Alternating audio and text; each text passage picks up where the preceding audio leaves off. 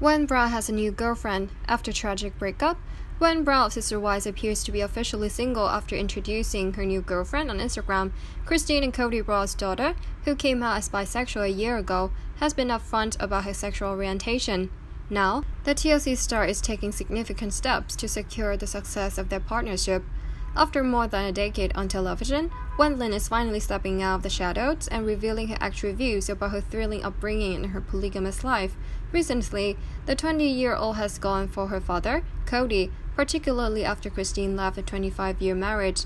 The patriarch has faced a lot of reaction, particularly from his children, and is now being held accountable for his conduct. Gwendlyn is upset with her father's treatment of her family and has expressed her displeasure. Gwen, like her mother, is moving on with her life and figuring out her future and who will be in it. Gwen turned to social media early Tuesday morning to share some wonderful news with her followers. The Sister Wives actress appears to be in a happy new relationship. According to Gwen, the mysterious woman's name is Beatrice Carrot or Noel. The two girls pose for four shots in the main room.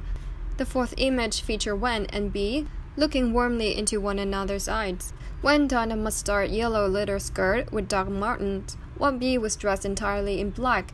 In response to a curious fan, Kody's daughter verified the connection by replying girlfriend. Viewers of Sister Wives may recall that during the pandemic, Gwen updated her bio on Twitter to reveal that she was a raging bisexual. While some TLC viewers were critical of her announcement, many others were supportive of Gwen. She has also had difficulty obtaining assistance from some of her family members. In 2020, she revealed that some of the Brown siblings were gossiping behind her back about her sexuality, believing it was a fate.